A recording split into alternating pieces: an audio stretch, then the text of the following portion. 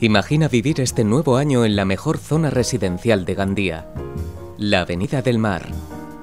Imagina la casa que quieres a un precio inmejorable. Mar 3.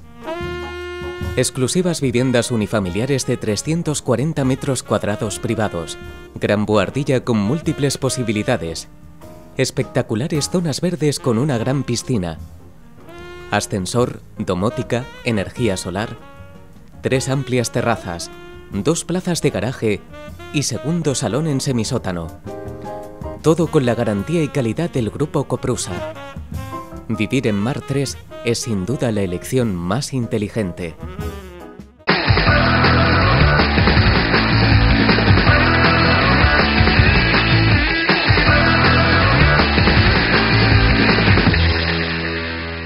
Amics i amigues, bona nit, benvinguts a una nova edició de La Cafetera. Ja saben quin és el format que utilitzem els divendres, Cafetera Express, molts temes, convidats i analitzar-los. El que passa és que avui tenim un format un tant diferent, perquè tenim un convidat molt especial. M'atrevisc a dir la persona del mes, perquè hasta fa escassament uns pocs dies era l'alcalde d'Oliva. Avui ja no és alcalde, perquè aquest pacte que van fer en el seu dia tras la moció de censura ha portat que a partir de demà passe eixa alcaldia en possessió del Partit Socialista en mans de Salvador Fuster. Ja saben que estem fent referència a David González Martínez. David, gràcies, bona nit, benvinguts.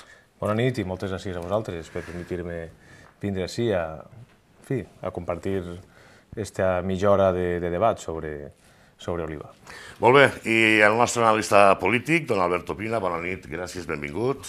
Bona nit, Juanjo, i un autèntic plaer, com sempre, passar este ratet amb vosaltres, avui especialment en David González, persona a la que no conec, avui per primera vegada, encara que jo, con la política la porte darrere tants anys, pues més o menys conecto lo que passa per la comarca i també a Oliva. Però sí que he seguit eh, la seva trajectòria durant estos quasi 18 mesos d'alcaldia. Efectivament, és un home intel·ligent, o sea, de, ha passat de ser el, la tercera llista més votada a detentar l'alcaldia d'Oliva. Això sempre li dona un plus perquè no és lo normal en democràcia, per tant, algo més listo de lo normal té que ser. Bueno, pues anem allà. Moltes qüestions sobre la taula, senyor eh, González. El 13 de juliol del 2012 vostè va agarrar l'alcaldia d'una ciutat d'Oliva. La primera pregunta pense que és inevitable. Com es va trobar aquesta alcaldia? Bé, més que l'alcaldia, nosaltres eh, el 13 de juliol vam començar a caminar un equip, un equip de govern, un equip de govern format eh, per 14 regidors, és a dir, les dues terceres parts del, del que és la Corporació Municipal d'Oliva i van començar a caminar en un període certament molt complicat. Eh, L'Ajuntament d'Oliva, com la resta d'ajuntaments i la resta de, en fi, m'atreviria a dir, de famílies, de persones, eh, passa per uns moments complicats i en aquell moment també passava per uns moments complicats, avui en dia també passa per uns moments complicats i aleshores amb molta il·lusió eh, i amb moltes ganes de treballar van fer front a, a una sèrie de, de dificultats que se'n van vindre, com, com només començar la sentència de Martí de Beses, que suposava una, una indemnització de 851.000 euros a una família d'Oliva per un tema d'expropiació, com, com la, el pagament de 647.000 euros a FCC per, per, un, per una actualització de preus des de 2004, Posteriorment va vindre una altra sentència per valor de 1,2 milions d'euros. I la veritat és que eh, molts problemes en moltes urbanitzacions i una crisi econòmica que exigia de nosaltres eh, un nivell de gestió eh, certament intens i en aquestes condicions van començar, unes condicions molt complicades, però a poc a poc, eh, amb aquest equip de 14 regidors i sobretot procurant arribar a acords en, en la societat civil, eh, crec que hem aconseguit eh, estabilitzar eh, políticament l'Ajuntament, també econòmicament i poder afrontar eh, els reptes que Oliva té per davant. En aquest cas, antes que, se, que el senyor Pino li faci les seues preguntes, jo tinc eh, dos frases de vostè que realment eh, han calat fons en eh, una persona que intenta seguir un poc la, la política. No? Vostè eh, ha comentat que n'hi ha que assumir que no sempre es pot contestar a tot el món. Aquesta és una frase, pense que molt, molt bonica. I he treballat i treballaré sempre per Oliva, per davant del meu partit, i de la meva persona. Eh, això que ho diga un polític, certament en els temps que corren és un poc eh, complicat, no? Anteposar els interessos del poble davant d'una persona i del seu partit. No, mira, jo crec que, que no devem confundir el, el, el, el que ha de ser eh, normal en una cosa excepcional. Eh? I per tant, jo crec que aquest és el comportament normal que s'espera d'un polític.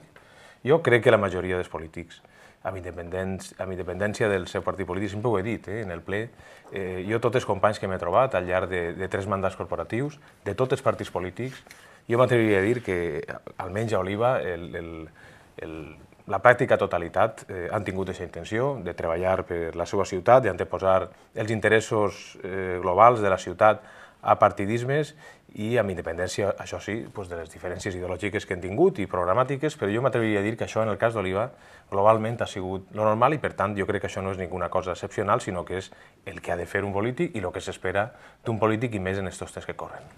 I opina? Pues nada, yo podría, señor González, ceñirme al principi, en principi al principi de la legislatura, valga la redundància, és a dir, o sea, va guanyar el Partit Popular les eleccions en Oliva, va entrar a governar eh, la entonces alcaldessa Chelo Escrivà i va, va intentar, segons tinc entès, eh, fer algun tipus de pacte de govern en totes les forces polítiques, però ninguna, especialment vostès, no van voler governar en el Partit Popular a la ciutat d'Oliva, que és el guanyador de les eleccions eh, en Oliva. Vostè va ser la tercera força i el senyor Fuster la segona. És a dir, sempre s'ha dit que és que, o, o això és el que corre i el que ens entenem en la comarca, que bueno, el caràcter de Xolo Escrivà no dona per arribar a acords amb ningú, que té un caràcter molt especial, tal i qual. Però la bona realitat, senyor González, és que el Bloc Nacionalista Valencià no governa absolutament en, el, en ningú poble de la comarca en el Partit Popular. Eh, vostès o bé estan en l'oposició, o bé governen a soles, o bé governen en el Partit Socialista, és a dir, en l'esquerra. Fins i tot n'hi ha un poble, que és el Real de Gandia, on hi ha majoria absoluta del PP que governava en, el Bloc Nacionalista Valencià i va ser expulsat el regidor del Bloc Nacionalista Valencià per cometre el delit electoral de governar en el Partit Popular.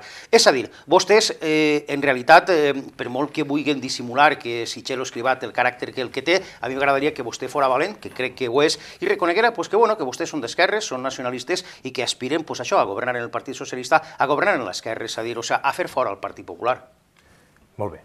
Eh, òbviament som d'esquerres i òbviament són nacionalistes, no tinc ningú problema en acceptar-ho, això és així.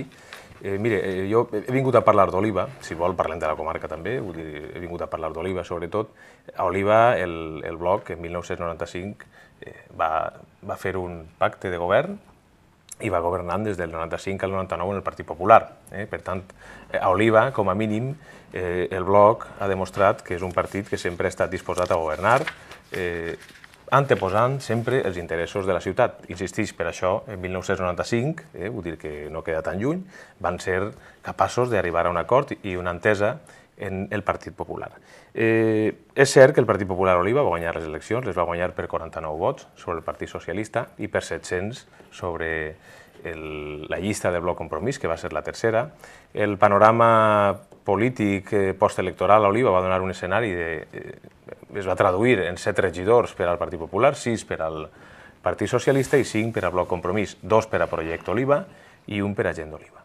La primera afirmació que ha fet vostè de, de, de que Txelo Esquivà va intentar arribar a un acord en totes les forces polítiques, me consta que no és certa, no és certa perquè, eh, a més, el dia de, de la Constitució, eh, no, el dia del, el, del ple extraordinari, on se, on se debatien totes les delegacions, etc etc, eh, van ser molt clars, el, tant el portaveu de Projecte Oliva com el portaveu de Gent d'Oliva eh, van assegurar i van donar la seva paraula que Txelo Escrivà, Partit Popular en aquest cas, no s'havien dirigit a ells per a conformar govern, no s'havien dirigit a ells per a intentar arribar a un acord, no s'havien dirigit a ells ni tan sols per a oferir-los alguna àrea de responsabilitat, alguna àrea eh, de govern. Disculpen, sí. a vostès i al Partit Socialista es van dirigir, perquè fíjese, en democràcia n'hi ha que sumar 11. És a dir, el Partit Popular sols podia sumar 11, en vostè o en el senyor Fuster? Sí, sí, no, és que, dit que vostè ha dit que va, ja, ja. es va dirigir a totes les forces polítiques, les forces, no. desgraciadament, són les que són, és a dir, ni Projecte Oliva ni el senyor Salazar tenen, és el mateix que vostè, vostè necessita el Partit Socialista per governar.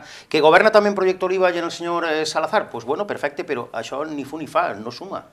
Sí, sempre suma. Eh? Sempre suma, és un punt de vista òbviament diferent. Jo crec que sempre suma. Nosaltres, per exemple, en el, eh, i a més va ser una, una intenció eh, dels dos partits, del Partit Socialista i del Bloc Compromís, però també molt personal meua, nosaltres efectivament no necessitàvem ni a Projecte Oliva ni a Gent d'Oliva per a tirar endavant aquesta moció de censura, però en canvi vam voler comptar amb ells perquè jo crec que és important sumar i jo crec que en aquests moments, donada la situació en, que estan, en la que estan els ajuntaments, és important sumar i nosaltres hem conformat un equip eh, de govern de 14 regidors, fins i tot no sé què necessari ni projecte Oliva ni gent d'Oliva i a més estem treballant molt a gust. Eixe taranà negociador, eixe taranà eh, d'intentar i de procurar arribar a acords per lo que siga, eh, en aquest cas, la senyora Txelo Escrivà. No m'agradaria personalitzar tampoc, eh? vull dir, el Partit Popular eh, no el va tindre o no va saber negociar i, per tant, eh, quan un no, no arribar, eh, quan un no arriba a un acord, eh, no és culpa només de, d'un, a lo millor és culpa dels dos. Nosaltres vam tindre un, una única reunió amb, amb el Partit Popular. Aquella reunió, la veritat és que va ser molt desafortunada. Eh, vam eixir eh, reunió amb, eh, en fi, quasi, quasi amb insults per part de, de, en aquest cas per part de la líder del Partit Popular, dient que si anàvem a fer l'índio, que si no anava a consentir que farem l'índio, i la veritat és que no va ser eh, una reunió diguem, òptima per tal d'arribar a un acord i a partir d'ahir se van trencar les relacions, però nosaltres sempre hem estat disposats a treballar tant des del govern com des de l'oposició. Si permetís, eh, senyor González, eh, governar en un bipartit és complicat, en un tripartit deu de ser més complicat. I en un quadripartit, com diria Luciano Pavarotti, mama mia, com es pot governar així? Sin embargo, pense que sí que ho ha plegat a un consens en quatre forces polítiques, dos, diguem, de centre-esquerra, nacionalista en el cas de vostè, i dos, de centre-dreta. Bé, jo crec, insistisc, eh, un ha de conèixer un poc Oliva. Eh? Eh, a Oliva sempre n'hi ha hagut, eh, és a dir, aquestes diferències ideològiques, que òbviament han existit i programàtiques, a Oliva sempre han sigut eh, minorades, sempre en, en buscant el benefici i el bé comú, i jo crec que s'ha donat, això s'ha donat. Eh, nosaltres, eh, bé, jo, hem conformat un equip de govern, estem treballant a gust, com? Pues, òbviament, en una dosi alta de generositat, en una dosi sense renunciar a plantejaments ideològics i a, i a, hi ha programes de govern, però cedint i bueno, pues procurant aplicar una cultura política diferent, que és la d'arribar a acords i poder salvar aquestes eh, discrepàncies, que òbviament n'hi ha discrepàncies al si, al si del govern, però eh, en, en voluntat. I jo crec que, efectivament, com a mínim en aquests 18 mesos, jo estic prou satisfet eh, perquè s'ha aconseguit treballar en un ambient eh, certament bo. Vostè ha fet, senyor eh, González, un balanç de lo que ha estat els seus 18 mesos de govern a Oliva. I diu textualment, llisc el seu, eh, la seva fulla informativa, diu, segons l'alcalde, és a dir vostè, David González, el balanç ha estat positiu i Oliva així guanyant sobretot en estabilitat política, econòmica i en transparència. I això que les condicions heretades quan vam accedir al govern no eren les més idònees, doncs vivíem en un clima de tensió i crispació permanent, arrossegàvem una delicada situació en les arques municipals. I jo li pregunto, aquesta delicada situació gestió de les arques municipals, de qui la va heretar? Perquè no ho diu. Que jo sàpia, vostès formaven part de l'anterior govern en el Partit Socialista en la darrera legislatura i el Partit Popular tan sols va governar un any i a més en minoria. Per tant, tot el que aprovat el Partit Popular en el plenari d'Oliva portava o bé el vot a favor de vostè o bé el vot a favor del senyor Fuster o com a mínim l'extensió, perquè no hi havia majoria del Partit Popular a l'Ajuntament d'Oliva. És a dir, vostès què hereten les seues pròpies condicions difícils? No, però mire, eh, en primer lloc, eh, tot el que passa en un ajuntament, eh, si coneix vostè el sistema, que, que em consta que sí, vull dir, eh, la llei de bases de règim local, sabrà que des de... n'hi ha dos òrgans, principalment, o tres fins i tot, en un ajuntament, perquè el tercer eh, ve com a conseqüència de que o bé l'òrgan de l'alcaldia derive competències o bé el plenari deriva competències sobre la Junta de Govern local. Però n'hi ha dos òrgans principalment, el que és el ple i el que és eh, l'alcaldia, que és un òrgan. Des de l'alcaldia, eh, se, per decret d'alcaldia se poden eh, firmar eh, moltíssims decrets i moltes resolucions de l'alcaldia i certament se pot governar sense passar pel ple de l'Ajuntament o donar compte al ple de l'Ajuntament. Per tant, moltes de les qüestions d'aixòs 13 mesos de govern del Partit Popular no sempre van passar per ple i, per tant, no sempre van passar a votació. I en el ple no sempre van comptar tampoc amb, amb el vot favorable, com a mínim, del bloc eh, Compromís. Per tant, eh, jo el que manifesta ahir és que vam heretar unes condicions eh, certament molt complicades. Efectivament, vull dir, el, el, el, diguem, eh, fins a 2011 n'hi havia un govern de coalició, eh, el Bloc, vull dir, no vaig a, no vaig a, a dir-li que no. Eh, va acabar la legislatura, aquesta legislatura va acabar en una situació complicada Oliva, per una situació de que les, la crisi econòmica va afectar les arques municipals. Comparativament amb altres ajuntaments era una situació realment eh, eh, millor, altres ajuntaments majors era una situació millor, la Generalitat mos devia molts diners, teníem molts impagos dels, dels ciutadans que no podien pagar i efectivament era una situació dolenta. Al llarg d'aixòs 13 mesos, aquesta situació no va millorar, aquesta situació eh, fins i tot se va quedar estancar o va empitjorar un poquet i per tant jo l'únic que manifesta ahir és que quan eh, jo accedisc a l'alcaldia me trobo en una situació certament eh, complicada i hem de fer front a aquesta situació. I per tant, al llarg d'aquests 18 mesos considere que hem fet front a aquesta situació. En aquests moments l'Ajuntament d'Oliva ha reduït en 18 mesos el dèficit eh, prou, estem a la meitat del màxim legal. Altres ciutats, se posar cap exemple, altres ciutats del nostre entorn voldrien tindre un dèficit eh, que està a la meitat.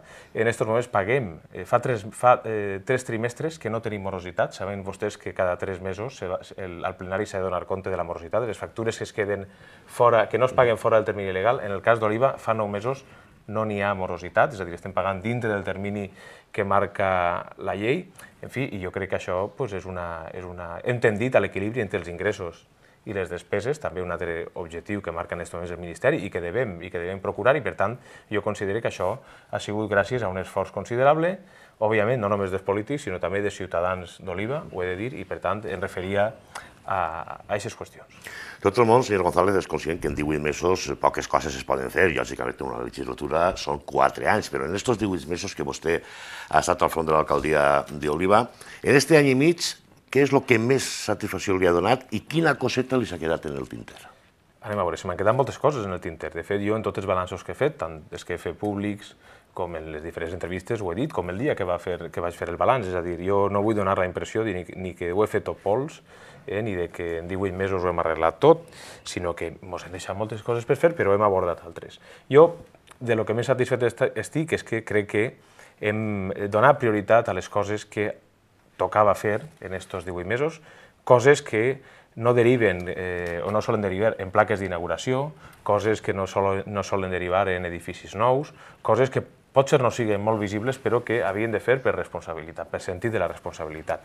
Ordenar, ordenar, posar mort d'ordre dins de l'Ajuntament, posar eh, eh, la situació econòmica, estabilitzar-la, eh, canviar la cultura organitzativa de l'Ajuntament en el sentit de que l'Ajuntament d'Oliva, avui en dia encara, però, però eh, bueno, hem avançat molt en quant a eh, agilitzar les tramitacions que ciutadans van a fer a l'Ajuntament, donar més transparència a les decisions que prenem, n'hi havia, n'hi ha moltes urbanitzacions amb moltíssims eh, problemes en Oliva que estem també a poc a poc eh, procurant resoldre, vull dir, tota aquesta feina, tota aquesta feina sí que s'ha fet algunes inversions, eh, Oliva no, no ha pogut eh, endeutar-se més per, per una qüestió que és que tenia inestabilitat pressupostària, eh, però sí que eh, hem aconseguit fer algunes xicotetes inversions molt necessàries, com la millora en alguns parcs infantils de la ciutat, la construcció dels nítxols que estaven per construir, la consignació pressupostària de 225.000 euros de les quotes d'urbanització que li corresponien a l'Ajuntament en Aigualanca 4, vull dir,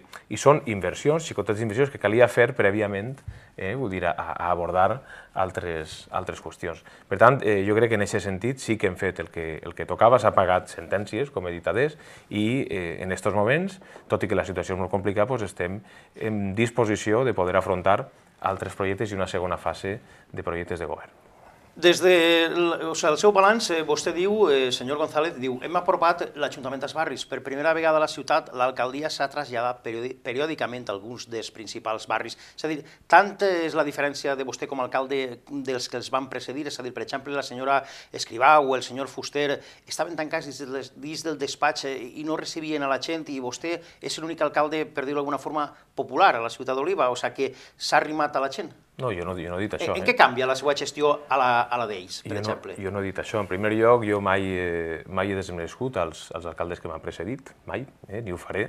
Cada un eh, ha gestionat l'alcaldia el millor que ha sabut i el millor que ha pogut, i per tant en encerts, en errors, igual que ho he fet jo. Per tant, jo ahir no estic dient, no estic comparant-me a altres alcaldes, ni dir que he sigut més pròxim ni menys pròxim. Un objectiu com a alcalde que he tingut ha sigut ser pròxim al ciutadà. Si ho he aconseguit o no, o no eh, no crec que siga jo el que, el que ho hagi de dir, sinó ho hauran de dir els ciutadans i ho hauran d'expressar eh, de les diferents maneres que, ten, que poden expressar-ho. Jo el que he procurat és eh, no només atendre a la gent al despatx, sinó també desplaçar-me als centres socials que tenim eh, dispersats pels principals barris d'Oliva i des d'allí poder atendre a, eh, als meus veïns. I, que, i, I li diré per què estic satisfet d'això.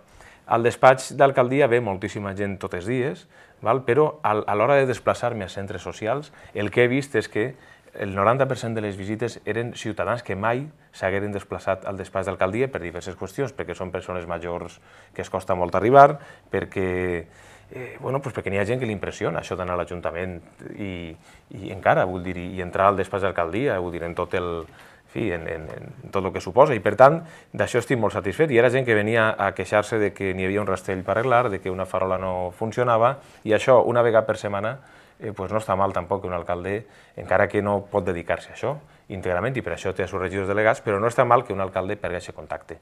Altres alcaldes ho hauran fet, segur, en altre tipus d'iniciatives. Jo, en aquest cas, eh, és la iniciativa que vaig dur a terme, però sense ànim ni de menysprear la tasca que han fet altres alcaldes, ni de dir que sóc millor ni pitjor. En aquests 18 mesos vostè ha dit que s'han aconseguit moltes coses gràcies a, aquest equip de govern, a aquest quadripartit. Eh, tal vegada l'èxit d'aquestes paraules que diu vostè eh, ve perquè han tingut molt clar des del primer moment i, i han sabut prioritzar les accions que teníeu que fer? Bé, jo crec que, eh, en fi, jo, jo no, no, no, no, he parlat d'èxit, eh? jo he parlat de satisfacció, he parlat també de, de que algunes coses se mos han quedat a mitjan camí, eh, no, no m'agrada parlar d'èxit perquè jo crec que 18 mesos, si no és un període, diguem, és un període escàs per tal de, de gestionar, també és un període escàs per tal de, parlar d'èxit o de fracàs. Eh? Això s'haurà de veure a final de legislatura, en 2015.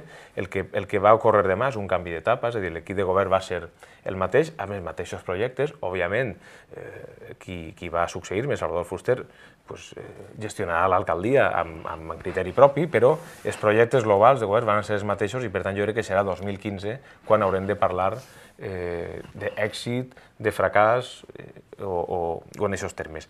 Jo hem fet moltíssimes reunions de coordinació, jo he fet partícip a la majoria de, de la majoria de les meves decisions, a la resta de regidors delegats, hem estat en contacte continuat i, i bé, i ha fluït la comunicació. Per tant, jo no sé si això ha sigut el motiu del qual doncs, hem pogut, eh, insistir, treballar a gust, però eh, jo crec que això s'aconsegueix amb molta, amb molta energia i, amb molta, i, i sumant diguem, voluntats, eh, aunant esforços, coordinant molt l'acció de govern, però així i tot, eh, fi, n'hi ha coses que se mos han quedat a mitjan camí.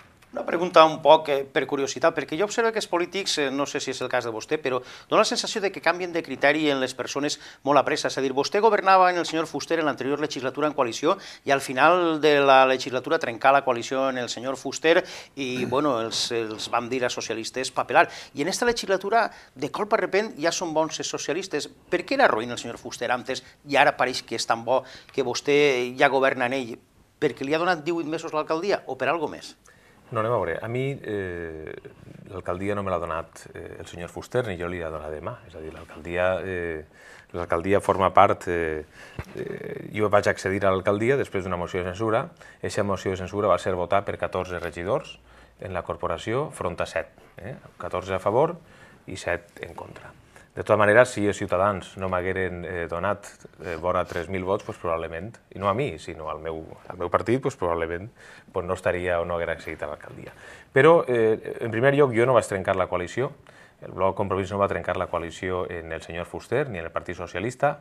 L'acord de govern de 2007 a 2011 va arribar al seu final. Sí que és cert que van tindre discrepàncies, discrepàncies que no, van, que no vam amagar, sobretot per la gestió urbanística, eh? ho, vam, ho vam manifestar, i sobretot dintre de la gestió urbanística global, sobretot per un tema que era Aigualanca 4, no ho vaig amagar, considerava que no ho havia d'amagar, però no va arribar a haver un trencament del, de l'acord de govern que va durar, insistís, fins a final de legislatura. Això sí, van tindre les nostres diferències, però jo crec que també ens hem de...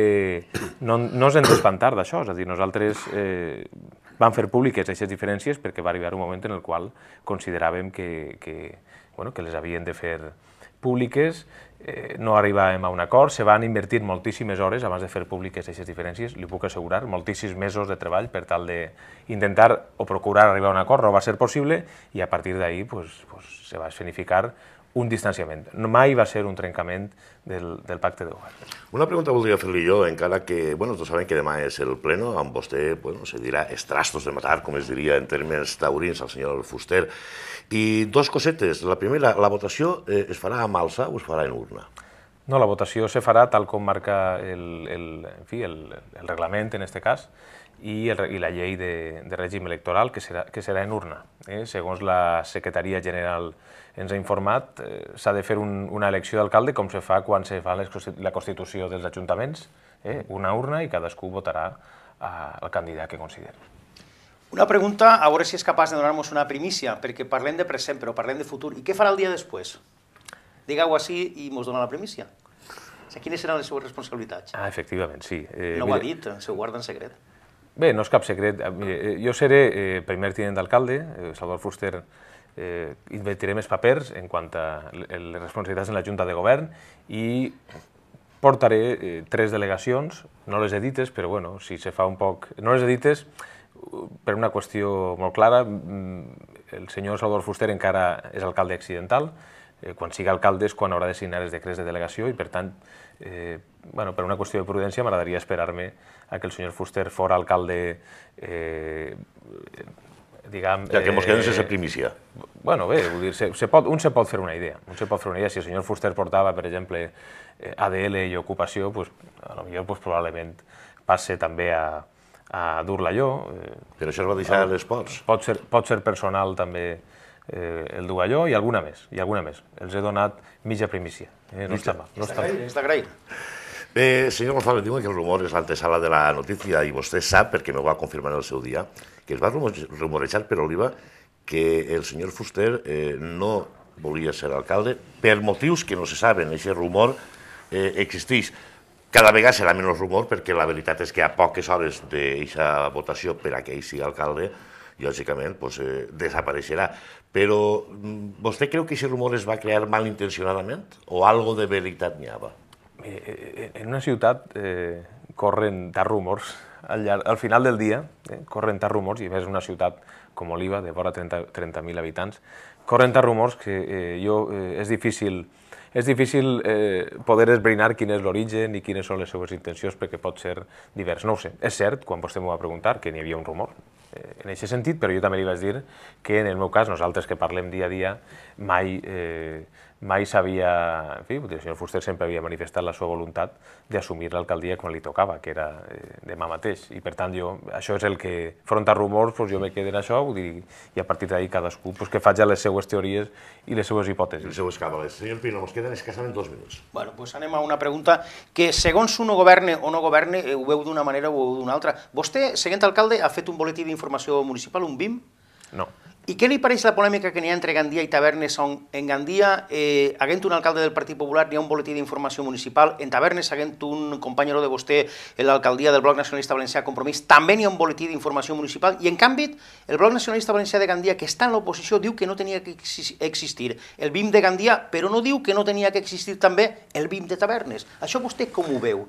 Mire, jo eh, desconec desconec, alguna cosa he llegit, però desconec perquè diré, els motius tindrà el Blau de Gandia i els motius tindrà el PP de Tavernes, no ho sé. Nosaltres no tenim BIM a Oliva perquè hem considerat que aquests diners eh, es havien de destinar a altres coses més necessàries. De tota manera, eh, cadascú eh, lliurement, cada govern fa el que estima convenient.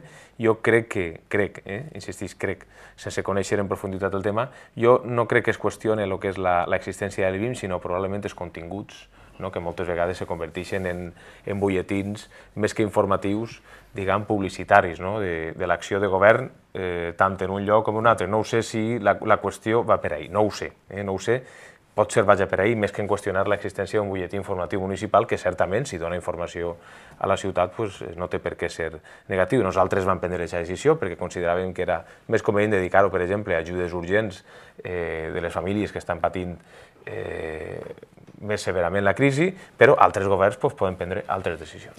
Pues, senyor González, si vostè en 18 mesos li s'han quedat coses en el Twitter, què li pareix? En mitja horeta se m'ha quedat també moltíssimes preguntes que realitzar-li. Li ha passat ràpid el temps? Bé, de tota manera, sí, els 18 mesos han passat, han passat no, molt ràpid. Dic que està mitja hora també. M'ha passat ràpid, de tota manera, jo sempre estic disposat, eh, en fi, vull dir, sempre eh, acceptaré la invitació per a vindre a parlar d'Oliva i de qualsevol altra qüestió que, en fi, que considereu que, vos puga ser útil i, per tant, eh, des d'ací ja vos manifeste eh, la meva predisposició a vindre a la cafetera sempre que considereu necessari. Moltíssimes gràcies, senyor Pina, moltíssimes gràcies. Pues moltíssimes gràcies, senyor González, ha sigut un plaer, no el coneixia i encantat de que hagi vingut i de que vinga quan vulgui. Moltes gràcies. Pues fins així, ja saben quines són eh, les qüestions que ens ha plantejat i que li han plantejat al senyor González i que ha contestat sense parar-se a pensar cap de les qüestions formulades. No tenim temps per a més. Com sempre, tenen vostès l'última paraula. Moltíssimes